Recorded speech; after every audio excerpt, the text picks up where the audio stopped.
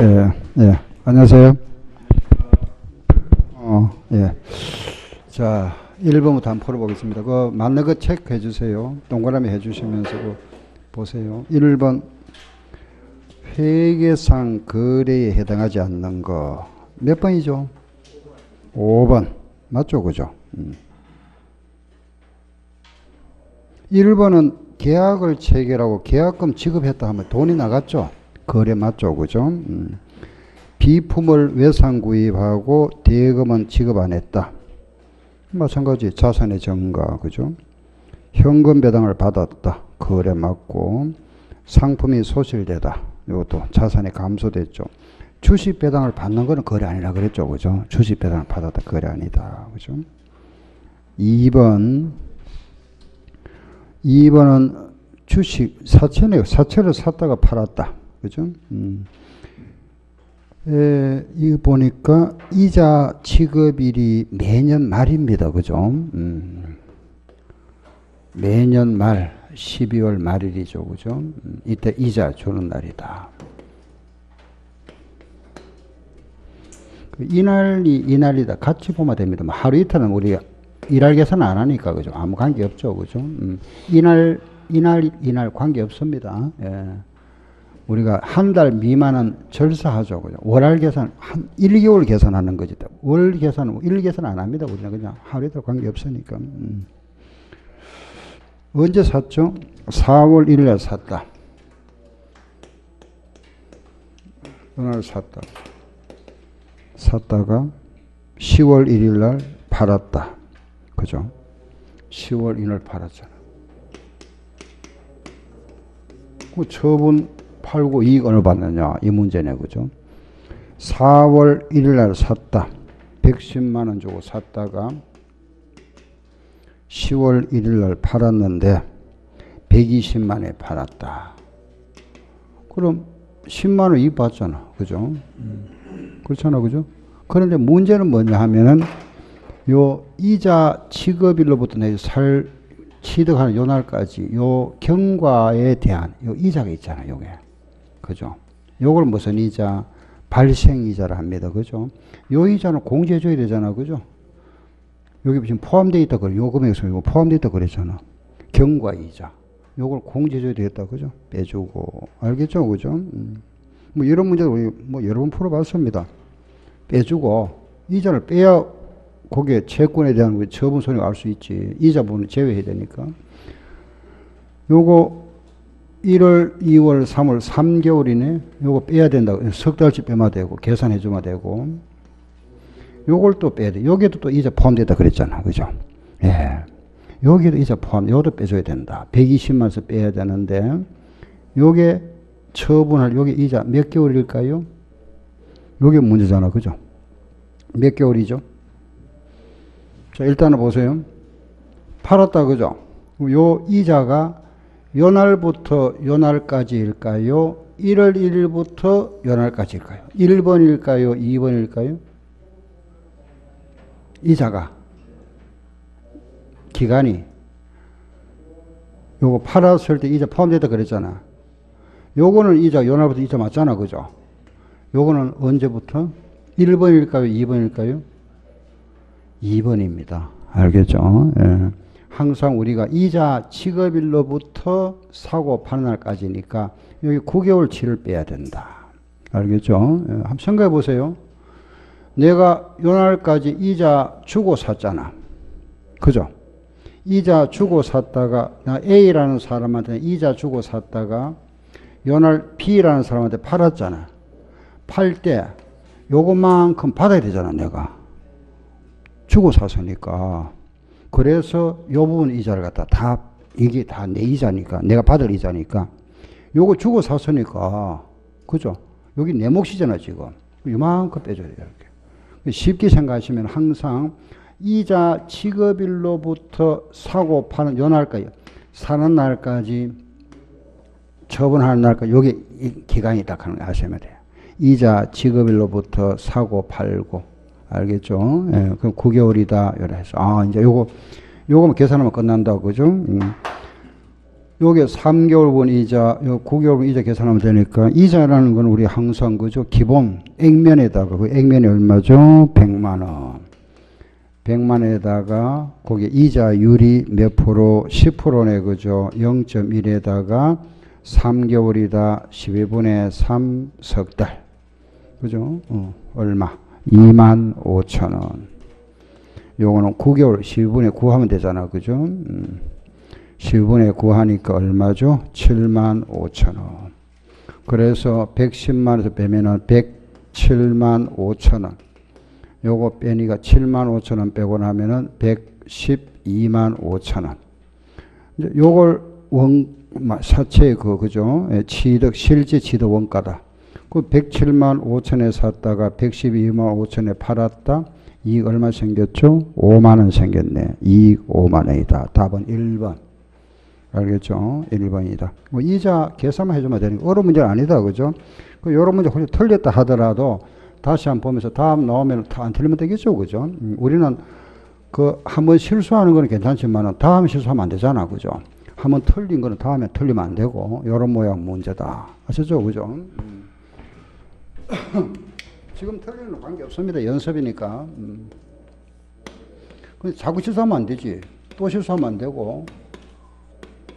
자산에서는 우리가 현해주 외상권 그리고 기타 그죠 현금 예금 주식 외상 상품 건물 기타 그죠 그리고 부채 부채하면 사채 충당 부채 그리고 자본 주식 그죠 수익과 비용 공사 이익 구하는 거 하고 나면 이제 여기 회계 변경이 있더라 변경 변경도 있고 틀린 거 고치잖아. 그죠? 오류 수정, 그리고 현금 흐름표, 재무제표하고 분석이 있죠. 요게 우리 재무회계. 요번이 재무회계다. 그죠? 그리고 원가 회계. 그죠? 이렇게. 요건 딱 정해져 있습니다. 그죠? 요 부분에서는 여덟 문제, 여기서는 32문제 그렇죠. 그죠? 알겠죠? 그러니 어, 이 이제 처음에 이게 이제 회계 순환 과정 있잖아. 그죠? 우리 기본 총설이라죠. 전체 흐름. 요 총설의 총과 총설 보면 여기 이제 순환 과정 있죠. 거래 뭐 붕괴하는 거 그죠? 재무제표 작성하는 거 그리고 어 근본적 특성, 뭐 보강적 특성 나옵니다. 그죠? 이론 부분에서 요 여기까지 여기까지가 우리 그죠? 50% 이상 나옵니다. 시험이 항상. 음, 그니 자산 부분이죠. 그죠? 음. 시험 이게 이어서 20문제 나온다 이 말. 20문제 알겠죠? 여기서 30% 요거 20% 알겠죠? 음. 방금 요 문제는 요게 관련되는 거다. 그죠? 다음 3번. 1번은 회계선 거래 이거잖아. 순환 과정이고. 3번. 결산 수정 사항이 아닌 거. 우리 결산 때 하는 거 아닌가 한번 찾아봐라 물어봤네. 어느 거죠? 응? 결산 때 하지 않는 거.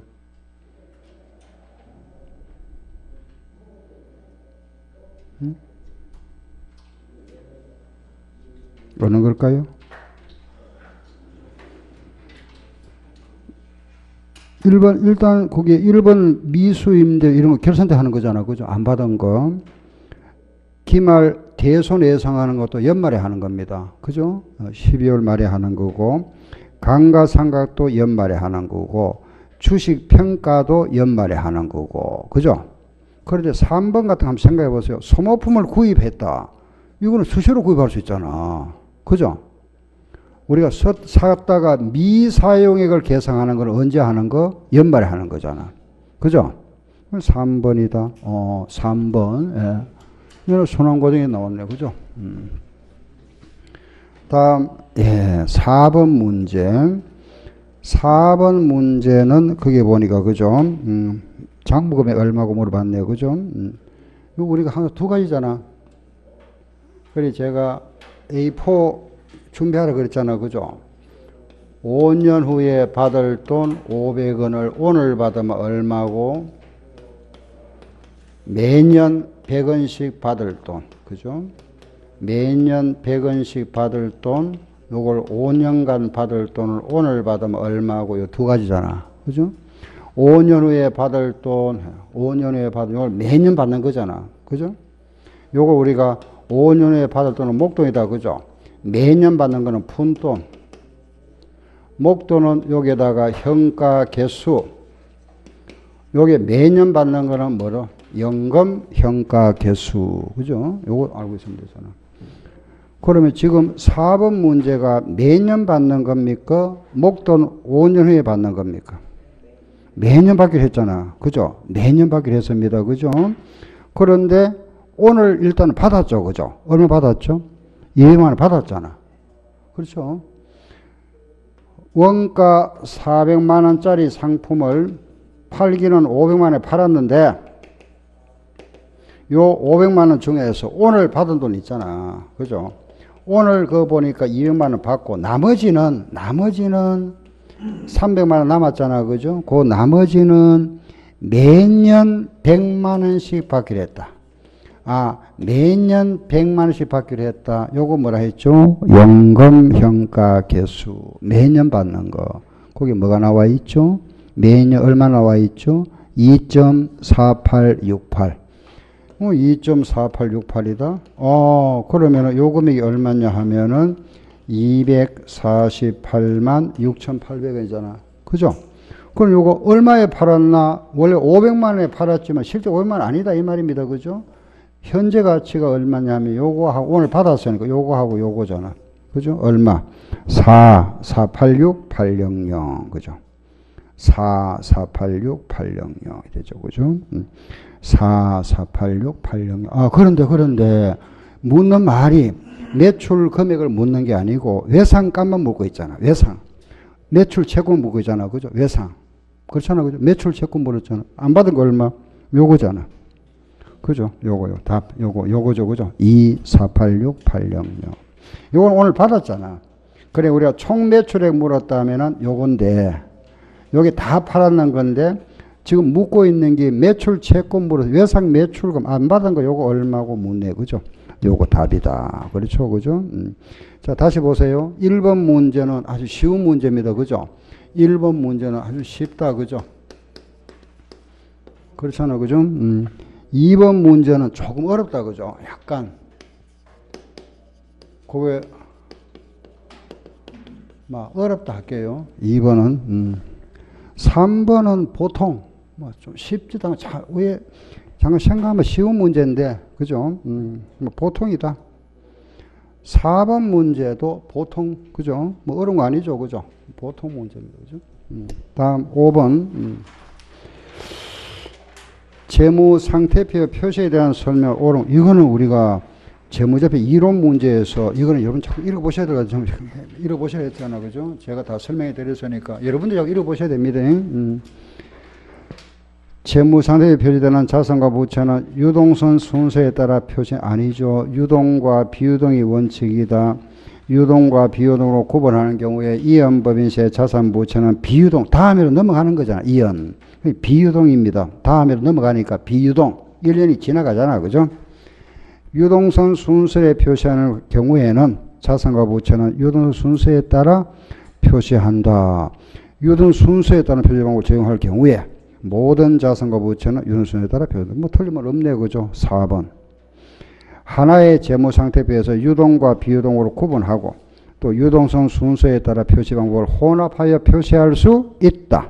있다. 없다가 아니고 현금 교환이나 부채 상환 목적으로 사용에 대한 제한, 제한 기한이 12개월 이상이면 12개월 이상이면 유동이 아니고 뭐다? 비유동이잖아. 그죠? 비유동. 5번 문제. 이 문제 뭐 그거는 없다 그죠? 쉽다. 음, 답 쉽게 볼 수 있고. 다음에 6번 문제. 현금 흐름. 아유, 이건 뭐 이런 거야. 뭐 공짜 문제잖아. 그죠? 응? 현금 기준과 발생 기준. 그 문제 보니까 단기 손익, 손익 계산서는 발생 기준이다. 요 현금이 얼마고 묻고 있네요. 그죠? 이거 못 넣네. 음. 여기 들어가는 거 자산의 증가 플러스 부재 증가 마이너스 수익은 플러스 비용 마이너스 그죠? 감가상의 비용이네 마이너스 사채 상환했다 그죠? 10만 원짜리를 6만 원에 상환했단 말이잖아. 그럼 뭐 받죠? 이익 받으니까 손해입니까? 이익 받죠. 내가 돈 저기 갚아서니까 10만 원짜리 6만 원에 갚아서니까 내가 갚는 돈이잖아. 그죠? 그 이익 받네. 이익은 어떻게 해? 플러스. 건물 팔았습니다. 10만 원짜리를 4만 원에 팔았다. 6만 원 손해 봤네. 손실 6만 원. 마이너스.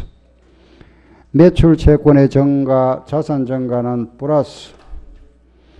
재고 자산의 감소, 자산 감소는 마이너스. 매입 채무 부채 감소는 플러스. 끝났다. 그죠? 음, 그러면은 요걸 먼저 계산하자 그랬습니다. 그죠? 마이너스 9만 원하고 마이너스 10만 원이죠. 마이너스 10만 원 그죠? 플러스 10만 원. 어, 똑같네. 그죠? 마이너스 10만 원 플러스도 10만 원. 이 제로네. 그럼 제로니까 답이 얼마? 15만 원. 답이다. 그죠? 15만 원이 답이다. 예. 어디 뭔가 잘못했으면 다시 한번 볼게요. 가 다시 보세요. 감가상각비는 비용이죠. 마이너스. 사채 상환했다 그죠? 10만 원짜리를 6만 원에 상환했으니까 이익 받죠. 플러스 이게 4만 원이네. 6만 원 아니고 그죠? 10만 원짜리를 6만 원에 상환했으니까 4만 원이다. 어. 제가 계산 잘못했습니다. 그죠? 여기 4만 원이네. 그러면은 결국은 마이너스가 얼마냐 하면은 10만 원이고 플러스는 얼마죠? 8만 원이죠. 플러스 8만 원이네. 그 마이너스 2만 원 나온다. 그죠? 그 얼마에서 2만 원 빼니까 요거 나왔다. 답은 얼마? 17만 원. 17만 원이 답이네. 뭐 또 잘못했습니까? 다시 한번 볼까요? 감가상각비는 마이너스.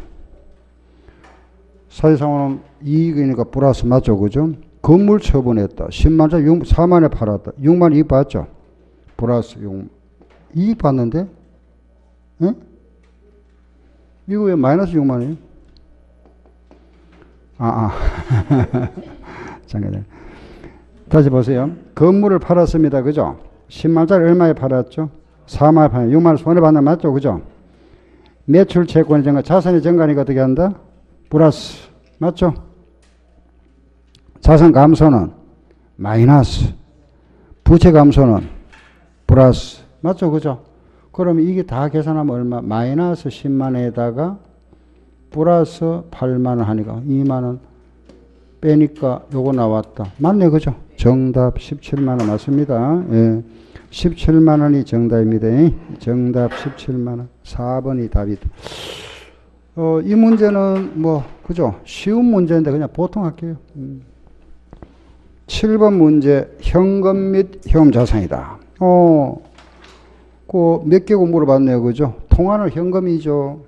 당자예금도 현금, 배당금, 통지표도 현금, 보증금, 거래계속 이건 아니죠. 결산일 당시에 3개월 만기다. 맞죠? 그죠? 현금. 아니죠? 만 아니고 결산이 아니잖아. 그죠? 취득일로부터 3개월 바가 현금에 현금 자산에 들어간다. 그죠? 만 아니고 양도성 예금 정선대 90일이면 3개월 내 맞죠? 현금 들어가네요. 그죠? 선을수표는 음이라 그랬죠. 제외. 몇 개죠? 다섯 개네. 가나다, 바사. 이거는 쉽죠. 그죠? 음. 그렇죠. 그죠? 음. 쉬운 문제입니다. 예.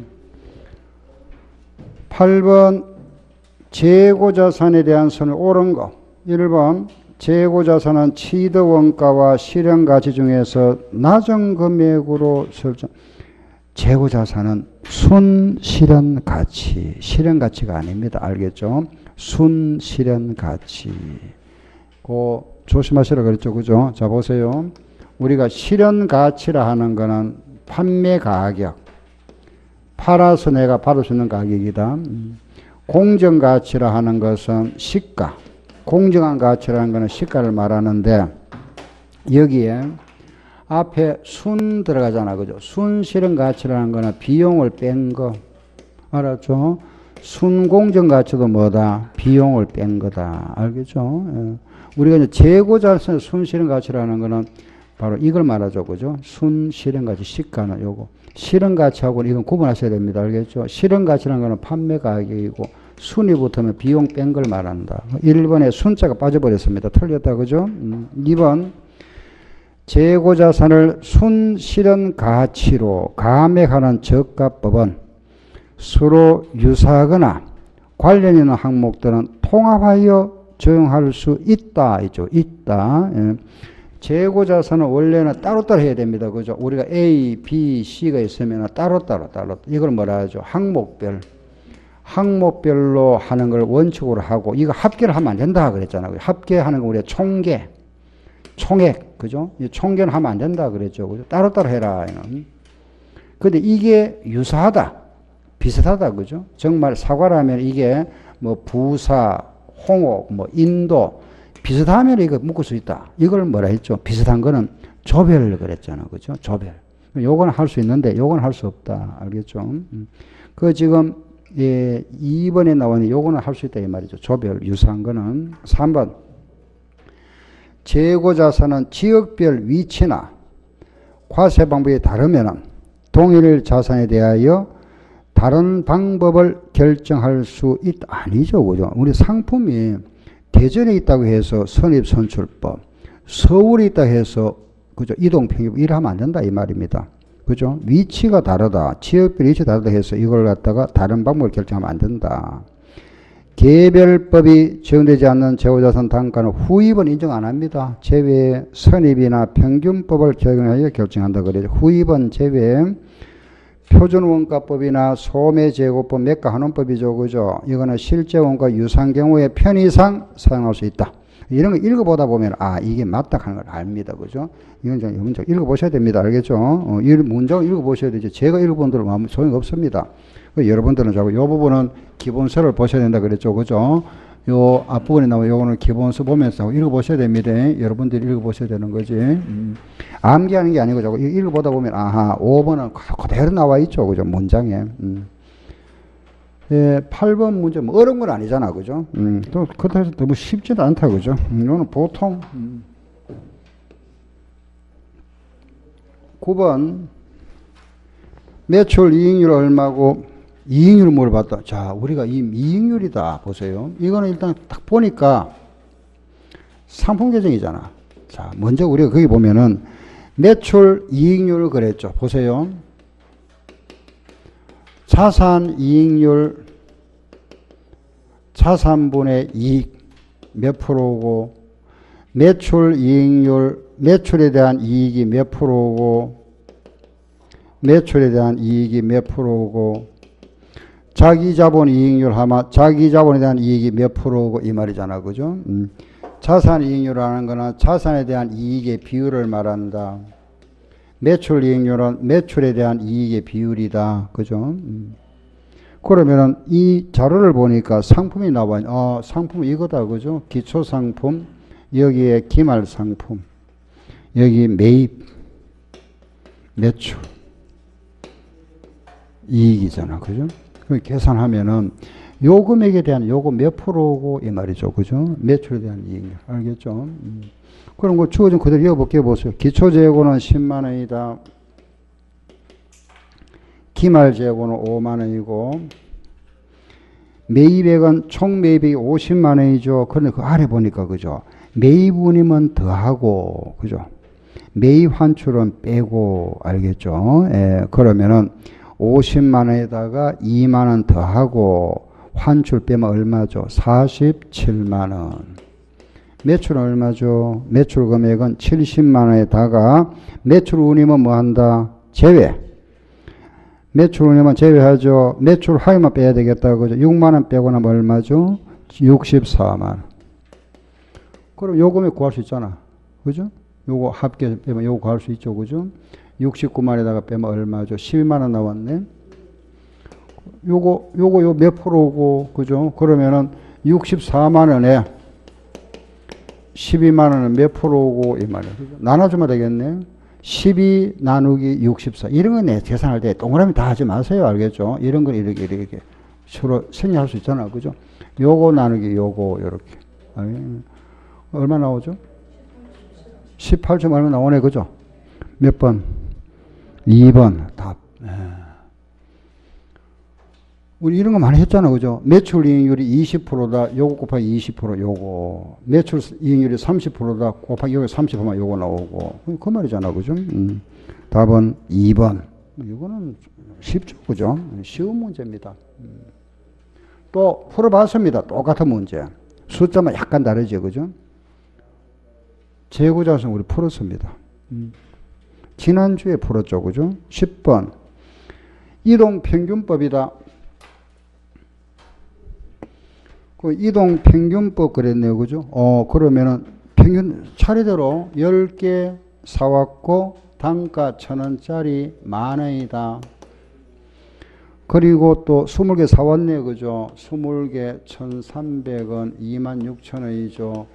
요걸 더하면은 30개.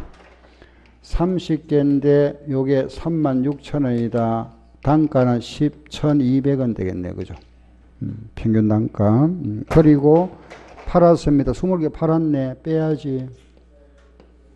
빼고 나면 10개 남고 1,200원짜리다. 그죠? 12,000원.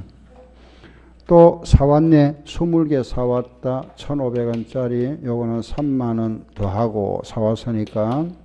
나니까 30개고 요게 4만 2천원이다. 그죠?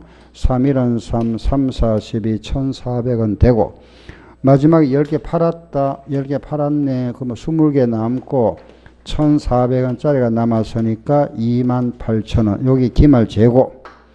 묻는 게 뭐 묻죠? 기말 재고 물었네. 답이네. 그죠? 2만 8천원 답이다. 그죠? 2만 8. 그럼 여기서 만약 매출원가 물었다. 이 문제에서 매출원가 물었으면 팔았는 거잖아. 요거 팔았잖아. 그죠? 20개를 팔았다. 1200원에 팔아. 원가 1200원짜리. 10개를 팔았다. 1400원에 팔았다. 그죠? 20개 1200원이면 24,000원. 10개 1,400원이면 14,000원. 더하니까 38,000원. 요거는 매출원가. 묻는 게 두 가지잖아. 그죠? 매출원가. 물론 또 요 문제를 우리가 선입으로 할 수도 있고 총 평균법도 할수 있다. 그죠? 음. 이런 문제는 나왔다 하면 이런 거야. 뭐 그냥 예. 반갑죠. 사실 그죠. 이런 문제 보이면. 음. 다음 11번 재무제표 표시에 대한 설명으로 틀린 1번 재무제표의 목적은 광범위한 정보 이용자의 경제의사 일정에 유용한 정보를 제공한다. 뭐 당연한 이야기고 그죠? 재무제표는 위탁받은 자원에 대한 경영진의 수탁 책임의 결과를 보여주지 못한다. 아니지. 보여준다. 그죠? 경영을 잘했는지 못했는지, 그죠? 알 수 있잖아. 그죠? 이런 말도 그대로 나와 있습니다. 그죠? 재무제표는 경영진의 수탁 책임의, 그죠? 결과를 보여준다. 어, 틀렸네. 2번. 재무제표의 정보는 주식에서 제공되는 정보와 함께 그 이용자가 그 앞으로 재무제표에 대한 그죠 재무 제공에 대한 확실성을 예측하는 데 도움을 준다. 각각의 재무제표는 전체 재무제표와 공, 동등한 비중으로 표시한다. 당연한 이야기고 표시 통화는 천 단위 또는 백만 단위로 그죠? 이렇게 생각할 수 있죠, 그죠? 음, 여기 중요성입니다, 그죠? 음. 따라서 잘못된 거는 2번 답 찾기는 쉽습니다, 그죠? 음, 그렇죠. 당연히 재무제표는 그 수탁받은 경영자, 전문 경영자의 책임이 있죠. 그죠? 음, 없다 했으니까 틀린 말이고. 방금 나왔네. 12번 문제는 자산 이익률 나왔다. 어, 자산에 대한, 총자산에 대한 이익률이다. 그럼 자산에 대한 이익률은 자산에 대한 이익이 몇 프로고 요거 묻네. 그죠? 요거 몇 프로고 물어봅니다. 음. 그거 지금 다 안 나오고, 그죠? 가나 다 조건이 지금 가, 나, 다 나와 있네요. 그죠? 자기 자본에 대한 이익률이다. 자기 자본에 대한 이익률이라는 거는 자기 자본, 자기 자본, 자본, 자본에 대한 이익률. 자기 자본이 자본이니까 여기 몇 프로? 20%. 매출에 대한 이익률 나와 있네요. 그죠? 매출에 대한 이익률이다. 매출에 대한 이익이 요게 몇 프로? 여기 보니까 10% 이익이 10% 그리고 부채 비율. 부채 비율은 뭐분의 뭐? 그렇지. 자본분의 부채. 그죠? 부채. 요거. 어, 이거 다 아는 식들이네. 여기 300%다. 요래 주어졌잖아. 그죠? 요래 주어지고, 요거 물어보잖아. 또 이런 유사 문제 우리 많이 풀어봤잖아. 그죠? 자, 이런 거는. 제일 만만한 거 있잖아. 그죠? 요런 거 20%, 요거 하나 숫자를 대입하세요. 숫자 대입하기 편하죠. 그죠? 요게 100이다. 100분의 얼마? 20. 알겠죠? 100분의 20. 100분의 20 하면 되죠. 20% 맞잖아. 그러면 이익은 나왔네. 여기 20이다. 한 만들어내면 되잖아. 그죠? 그럼 여기 이익이 20이면 여기 20이. 그죠? 여기 10% 그랬으니까 요거 얼마? 200. 그10% 되지. 200. 그렇잖아. 그죠? 음. 자, 자본이 나왔잖아. 여기 자본 있네. 그죠? 100 만들어놨잖아. 요거 얼마? 100. 요거 얼마? 300%니까. 320. 그죠? 그럼 자산 얼마? 자산은? 자산 요거 얼마? 400이지. 자산은 부채 플러스 자본이잖아. 응? 알죠? 자산은 부채 자본 더한 거잖아. 그죠? 400이지. 응? 400. 요거 몇 프로고? 4분의 20이다. 몇 프로고? 몇 프로? 5%. 맞죠? 답. 음. 응? 쉽습니까? 어렵습니까? 풀면 쉽죠. 혼자 풀 때 어려워도. 이게, 이게 다 우리 아는 거잖아. 그죠? 그렇죠? 그죠? 이거 아는 거네. 그러니까 이거, 이런 문제 풀었습니다. 또 마찬가지 우리가 풀었는데 반복하셔야 돼. 제가 몇, 100 점, 제가 기대 안 합니다. 100점은. 음, 거기도 기대 안 합니다. 이것도 많죠. 그죠? 요것만 맞춰도 되지. 이 정도. 좀 틀리지 않습니다. 어. 근데 요런 거 나오면은, 그죠? 음, 자, 한번 보고. 다음 틀리지 마세요. 음, 오늘은 어렵다. 그죠?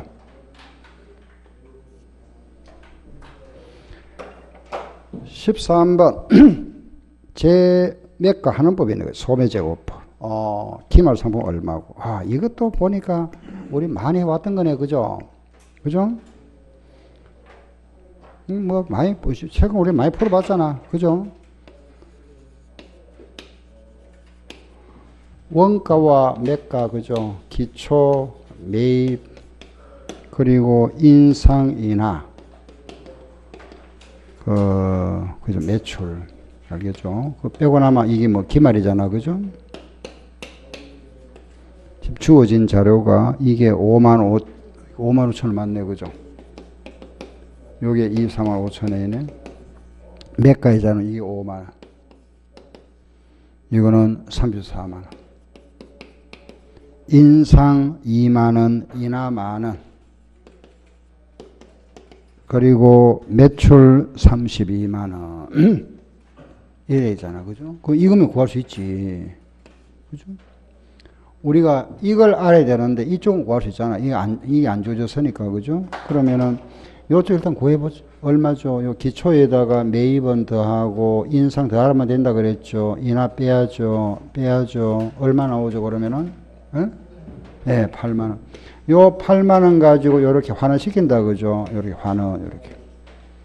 환원. 요렇게. 그죠? 음. 환원도 요거, 요 기본 요거잖아. 요거 대 요거. 그죠? 비율이 같다. 요 비율과 요 비율이 같다는 말입니다. 알겠죠? 같다, 비율이 같다. 음. 그 여기 얼마죠? 박스가 40만 원이잖아. 그죠? 여기 40만 원이죠. 요거 40만 원 나왔습니다. 요거 얼마? 30만 원. 40만 원과 30만 원은 몇 프로죠? 75%. 요것도 75%다. 요것도 75%다. 그죠? 이렇게. 그럼 8만 원에 75%하면 얼마?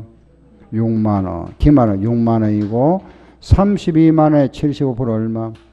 24만 원. 그죠? 예. 맞네, 그죠? 요거는 매출원가, 매출원가, 요거는 기말재고. 뭐 묻습니까? 기말 묻네. 그럼 답은 이거네. 6만원. 그죠? 음. 쉽죠? 그죠? 보통이라 할게요. 음. 쉬운 문제입니다. 그죠? 쉬운데. 지금까지는 뭐 크게, 그죠? 어, 뭐, 게 없습니다. 자, 밑에 봅시다. 음, 14번 문제. 음. 대손 문제 나왔네. 어, 지금 문제가 보니까 매출 채권은 50만 있다. 그죠? 대손하고 만원 있고, 외상 매출은 49만 원, 회수익이 35만 원이다. 대손 확정이 5천 원 됐다. 1년도 말에 미래 현금 흐름, 미래 현금 흐름 추정해. 미래 현금 들어올 돈이 60만 원 있다. 그럼 상각비 얼마고 묻죠, 그죠? 그러면은 기말에 지금 매출 채권 얼마인지 알아봐야 되잖아, 그죠? 기말에 지금 채권이 얼마인지 한번 알아볼까요? 일단은 요거 보세요. 우리가 이 문제는 조금만 생각하면 된다, 그죠? 자, 지금 현재 한번 보세요. 외상 매출금 있잖아, 매출 채권. 요 자료가 이래 주어졌죠, 그죠? 기초, 여기 기말, 여기 외상 매출, 여기 회수 여기 나와 있다, 그죠? 이 나오죠. 자, 일단은 요 금액인데, 요 금액이 미래 돈 들어올 돈, 현금 들어올이라 예상되는 거, 미래 현금 흐름이 얼마냐 하면은 얼마라 그랬죠? 60만 원이다. 요거 차이가 대손 상각비 예상되는 거잖아. 그죠? 대손에서. 일단은 요 자료가 보니까 기초 매수 재고이 얼마 나왔죠? 50만 원 나와 있네. 충당금 잠깐 대기시키고 외상으로 팔았는 거 49만 있네. 회수가 35만 원이네. 아, 이게 나왔. 아하. 그러면 요거 알겠네. 그죠? 무슨 말 알겠죠? 그죠? 여기 얼마? 금액 계산하면 되잖아. 얼마 나옵니까? 64만 원이죠. 요 문제잖아. 그죠? 음, 약간 문제를 약간 응용해 놔. 한번 더, 요걸 한 번 더 만들어 놓은 거지. 그죠? 요거. 그, 이게 바로 주어지면 되는, 이걸 안 주어지고, 요걸 주어졌다. 대신에. 그죠? 그, 요 정도는 우리가 또 아는 거니까. 그죠? 그럼 보세요. 64만 원인데 60만 원 돈 도로를 예상되니까 대손 지금 대리라 예상되는 금액이 얼마죠? 4만 원이잖아. 그죠? 그렇죠. 그죠? 4만 원 예상되잖아. 지금. 그죠? 요돈 받아야 되는데 요돈 받으리라 예상되니까 4만 원 예상되잖아. 그런데 장부에 지금 보니까 총당금이 얼마 있다? 예? 총당금이 얼마 있죠? 그게? 만 원 있잖아. 그죠? 이 말이잖아. 결과 이거 이거 이 문제잖아. 이 문제. 요거는 알잖아 우리 그죠? 대손의 예상이 얼마인데 4만 원인데 충당이 얼마 있다? 만 원 있다. 그걸 분기하면 어떻게 해? 좌변은 뭐 대손 상각비 얼마? 3만 원. 대변에 대손 충당금 3만 원. 요게 분계인데 묻는 게 지금 뭘 묻고 있죠? 요거 얼마고 묻잖아. 답 얼마? 3만 원. 아, 대손 돈 띵이 또 있구나. 그죠? 5천 있네. 그죠? 예. 그 지금 대손 띄는 게 5천이 있다. 자, 다시 보세요. 만 원 있는데 대손 돈 띄버렸죠. 그죠? 그럼 중간 얼마 남았죠? 5천 남아있지. 여기 5천 남아있다. 5천 띄으니까. 5천 원 남아 있다. 그죠? 5천 원 남아 있으니까, 그럼 이거 얼마? 3만 5천 원. 그렇지. 음. 대손 확정이고 5천 됐네요. 그죠? 음. 그럼 3만 5천 남아 있, 대손 상각비다. 그죠? 알겠죠? 답은 1번. 뭐, 뭐 문제는 이제 요 문제를 가지고 약간의 이제 그죠 요렇게 만들어 놨다. 아하. 요 문제는 뭐 그래 어려운 건 아니지만 그냥 보통 그죠 음. 풀수 있는 문제죠, 그죠? 음. 15번 재무정보의 유용성을 보강시키는 보강 특성은 뭐래? 보강적 특성. 우리 근본적 특성은 뭐더라? 근무 특성, 목적 적합성과 충실한 표, 여기 근본적 특성이고, 보강적 특성은 비교, 검정, 적시, 이해, 네 개. 그죠? 어느 거 맞죠? 4번, 적시성 나와 있네. 이거야 뭐, 틀릴 분 아무도 없죠? 그죠? 음. 다음, 16번. 문제, 음, 주식 나왔네. 16번.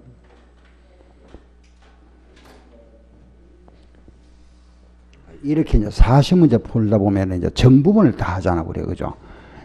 그렇잖아, 그죠? 이게 전체 다 나와요, 이게, 이게. 여기도 나오고, 뭐, 여기도 하나하나 다 이제 건드려 보는 거지, 하나하나씩, 그죠? 전체. 그 이게 40문제 푸는 굉장히 중요한 겁니다. 전 부분을 다 훑어보는 거니까. 음. 그 이거 이런 걸 하기 위해서는 뭐가 필요하죠, 여러분들? 제가 준비하라 그랬잖아. 뭐 준비하라 그랬죠? A4, 그죠? 알겠죠? 요거. 어. 요거만 알면은 풀 수 있는 문제들이 벌써 이거만 알면 여러분 충분히 여기까지 다 풀 수 있는 거란 말이에요. 요거 좀 어렵다 하는 건 사실 좀, 좀 힘들더라도 그죠? 응용이 응용 문제니까 이 정도는 다 풀 수 있거든. 그렇잖아, 그죠? 컨닝 페이퍼를 만들자 이 말이지. 응? 응. 다 만들어 놨죠, 그죠? 음. 다음 주에는 제가 검사할 겁니다. 음. 16번. 16번 문제. 예. 한국 회사가 대한회사의 주식을 샀습니다. 그죠? 10주를 샀다. 열 주식 10주를 샀는데 주당 얼마 주고 샀죠? 만 원에 샀다. 만 원 주고 샀다. 음. 어, 그런데 뭘 했다? 기타 포괄 손익을 했다 그랬네요. 그죠? 아, 요거는 기타 포괄 손익을 했다. 이거 탁 하면 기타 포괄 나왔다. 뭐 해야 된다? 뭐 해야 된다? 그렇지. 요 말, 요 말 기억하고 있잖아. 상계해야 된다. 그죠? 상계. 아하. 상계하는구나. 그렇고, 다음 보세요. 음. 공정가치가 1년도 말에 그죠? 주당 15,000 됐다. 어, 여기 이제 1년 이제 여기 그죠? 음, 샀다가 그해 말에 와서 음, 시가가 말에 시가가 얼마 됐느냐? 15,000원 됐답니다. 아, 올랐네. 올랐다가 그죠? 그 다음에 또 이게 12,000원 됐답니다. 1년 또 지났다 그죠? 12,000원 좀 내렸네 이번에는 어, 좀 내렸다. 그런데 이걸 이제 그 다음에 5월 달에 예, 그 다음에겠죠. 그죠? 3년도 어 그게 이제 2년도 말인가 연도가 좀 잘못됐네. 그죠? 그 다음에 돼. 그 다음에 알겠죠? 다음 5월 달입니다. 이 중에 몇 주를 팔았다? 4주를 팔았다. 예, 아, 그대로 해야 되겠습니다. 그냥, 그대로 연도를 그냥 할게요. 상도를 하죠. 그냥 그대로 이대로 합니다. 틀린 거 아니는 거 보고 알겠죠? 알았죠? 2년도 말에 지금 요거 요거 요거 다시 와보세요. 요 중에서 요 중에서 요 중에서 2년도 지금 문제에서 보니까 2년도 그죠? 2년도 중간에 5월 달에 팔았잖아. 그죠? 4주를 팔았습니다. 4주를 팔았다. 그대로 할게요. 그대로 합니다. 4주를 얼마에 팔았죠? 2만 원에 팔았다. 그럼 여기에 뭐가 나오죠? 처분 손익 나오겠지. 그죠? 처분 손익 나오고, 10주가 있으니까, 10주가 있으니까, 그럼 또 몇 주 남아있죠? 6주 남아있잖아. 요거는 평가했죠? 얼마에? 예? 그렇지. 이거는 12,000원 됐다. 그죠? 뭔 말인지 알겠죠? 그죠? 요거는, 요거는 팔았는 거고, 요거는 연말에 시가가 요래됐다. 이 말입니다. 그죠? 요거는 팔았고 요거는 시가가 요래됐다 이 말입니다. 그죠? 음. 네 주를 팔았다. 아, 일단은 자 먼저 우리가 처분 손해부터 계산해 봅시다. 처분 손해. 요거는 잠깐 보려 잠깐 놔두고 요 위에서부터 먼저 할게요. 상계해야 된다. 그죠? 만 원짜리가 만 오천 원 됐습니다. 그럼 만 원짜리가 만 오천 원 됐으니까 플러스 오천 원이죠. 15,000원짜리를 2만원 했으니까 이건 또 플러스 얼마? 5천원이잖아. 그죠? 그럼 결과적으로 상계하면 플러스 얼마? 만원. 만원이잖아. 그렇죠? 그럼 내주니까 만원 이익 받습니다. 내주면 얼마? 4만원 이익 받네. 처분 이익은 4만원 나왔다. 그죠? 아, 요거는 알았다. 하나 나왔고, 요거 계산해 볼게요. 요거, 자, 보세요. 마찬가지 만 원짜리 만 오천 올랐잖아. 만 오천 원짜리가 만 이천 원 됐으니까 요거는 마이너스 얼마? 삼천 원. 그죠? 그러면 결국 요거 상계하면 얼마? 요거 상계하면 얼마? 플러스 이천 원이지. 그죠? 플러스 이천 한 주에 이천 원 이익 받다. 몇 주? 여섯 주. 얼마? 만 이천 원. 결과는 얼마? 오만 이천 원. 알겠죠? 예. 자, 요 내주는 팔았잖아. 그죠? 상계한다 하는 거 마음에 되지, 뭐. 한주만원 이익 받으니 내주 팔았으니까 4만 원 이익 받고, 그죠? 4만 원 이익 받고, 이건 알았고. 그 다음 요거는 시가 여러 바뀌었잖아. 그죠? 시가. 어, 바뀌었으니까, 올려볼까요? 음, 여섯 주, 그죠? 여섯 주가 얼마 됐다 그랬죠? 만 이천 됐다 그랬지. 그러면은, 만 원짜리가 만 오천 됐으니까 플러스 오천 원에다가 요게 또 요래 됐으니까 마이너스 삼천 원이잖아. 상계하면 얼마? 플러스 이천 원 이익 받네. 이 여섯 주니까 만 이천 원. 더하니까 오만 이천 원. 쉽죠? 그죠? 음. 5번입니다. 이건 이거는 문제 다음에 총포괄 이익이 아니고 그냥 단기 순이익이라고 문제가 나오면 4만 원 답이에요. 어, 그렇지. 예, 단기 순이익하는 거는 이제 기타 포괄 손익, 이거는 이제 그렇게 안 내지. 왜 그러냐 하면은, 요게 뭐를 해놨죠? 기타 포괄 손익이잖아. 그죠? 기타 포괄 손익 단기 순이익 물으면 안 되지. 단기 순이익은 없는 거지, 결국은. 근데 물론 이제 요거는 단기 순이익은 이제 요걸 묻습니다. 알겠죠? 처분 이익이니까. 그래, 안 묻습니다. 그렇게는 안 물으니까 신경 쓰지 말고, 음, 요게 지금 뭐를 해놨죠? 기타 포괄 이익이잖아. 그죠? 음, 답은 5만 2천 원. 쉽죠? 그죠? 틀렸구나. 누구만 누구 마음대로. 어, 자, 17번 보통 보수주의 회계 처리 방법이 아닌 것 그랬습니다. 자, 보수주의 아닌 것 그랬잖아. 그죠? 보수주의라는 건 이익을 적게 한다 그랬습니다. 그죠? 적게. 이익을 적게 한다는 거는 자산을 적게 해야 되죠. 부천을 많이 해야 되죠. 그죠? 수익은 적게 해야 되죠. 비용은 많이 해야 되죠. 이게 보수주의다. 그죠? 근데 보니까 그거는 지금 성급, 선수, 미수미적 없으니까 하나씩 따져봐야 되겠다. 그죠? 자, 1번. 손실이 생겼네. 손실, 유형의 처분 손실이, 손상차손 생겼잖아. 비용이 생겼으니까 맞네요. 그죠? 2번. 물가가 상승할 때 선입 대신에 평균법을 한다면은 물가가 상승할 때 기말의 크기, 이익의 크기, 그죠? 그 선, 이, 총, 후잖아. 그죠? 그럼 요거, 요거 대신에 요걸 한다는 거는 자산이 적어져 버리잖아. 자산이 적어지니까, 어, 맞네. 요거보다 여기 이익이 적어지거나 자산이 적어지잖아. 그죠? 요걸 하면은, 음, 맞고. 3번. 저가법이니까 자산이 작아지는 거잖아. 맞고. 강가상각에서 정률법 대신에 정액법을 사용한다. 우리 항상 이 문제는 말이 없다. 한 촉입니다. 촉이 알겠죠? 자 보세요. 강가상각에 우리 정액법은 일정하죠. 일정하지만은 체감 잔액법은 촉에 많이 들죠. 그죠? 이게 체감이잖아. 여기 들어가는 것이 이정연, 이중 체감법, 그죠?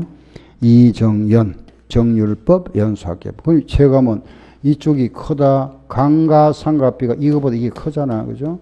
강가상각비가 정률법 이게 크다. 이 말. 큰 거. 비용이 커야 되니까. 무슨, 무엇에서는 뭐라고 했죠?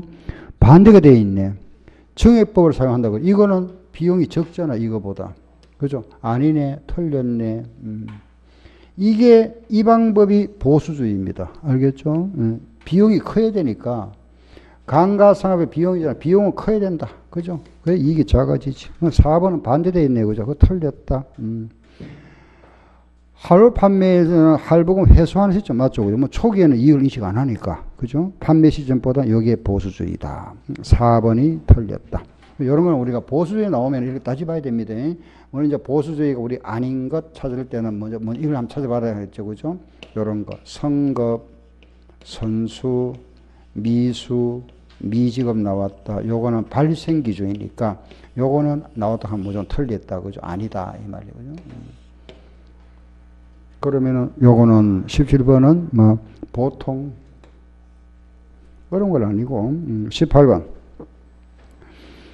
예, 기계장치를 10만 원에 취득했다. 정액법으로 상가하고 있답니다. 회수간액이 6만 원 됐다. 8만 원 됐다. 아, 이거 우리 손상 차손 문제네. 그죠? 음. 딱 문제 보니까 아, 이거 가격이 올라갔다가 내려갔고 내려갔다 올라간 거다. 그죠? 그럼 자 보세요. 18번 문제. 기계를 하나 샀는데 2000년 초에 샀다. 취득했다. 얼마에 샀죠? 10만에 샀다. 샀다가 상가하는데 그죠? 2년도 말에 이게 회수 가능액이 6만 원 됐다. 됐다가 그 다음에 말에 다시 이게 가격이 올라갔네 그죠? 8만 원 됐다. 아 회복됐다. 음. 문제 보니까 또 그죠? 마, 하면 많죠 그죠? 우리 많이 풀어왔던 겁니다. 음. 손상 차손 문제다 그죠? 10만 원짜리 6만 원 되네 내렸네. 그럼 얼마 내렸노? 손해 봤네. 손해 봐 얼마고 올라갔네. 요 이익 봤네. 얼마고 묻잖아. 그죠? 음. 이 문제더라.